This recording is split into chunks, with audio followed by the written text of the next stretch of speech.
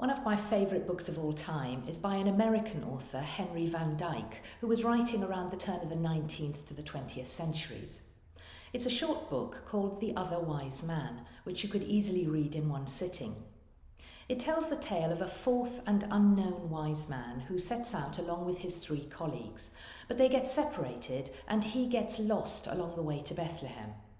The fourth wise man spends a lifetime searching for the Christ child, arriving eventually in Jerusalem 33 years later, where he finally finds Jesus hanging on the cross.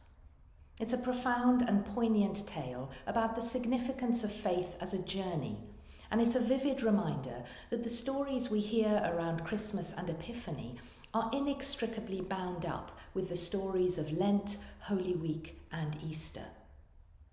As we begin another year with all the uncertainty that continues raging around us, and with continued worries about the cost of living and the changing nature of society, it's perhaps worth remembering that the same Christ child who drew kings and magi to his crib is the one who invites us to follow him still today.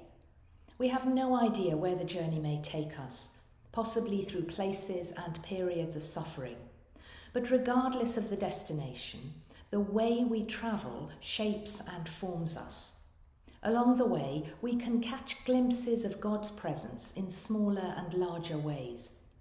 And we're always held by the everlasting arms of the one who goes before us. May God bless you this Christmas and during 2023, and may you know the love of God which surrounds and strengthens us each step of the way.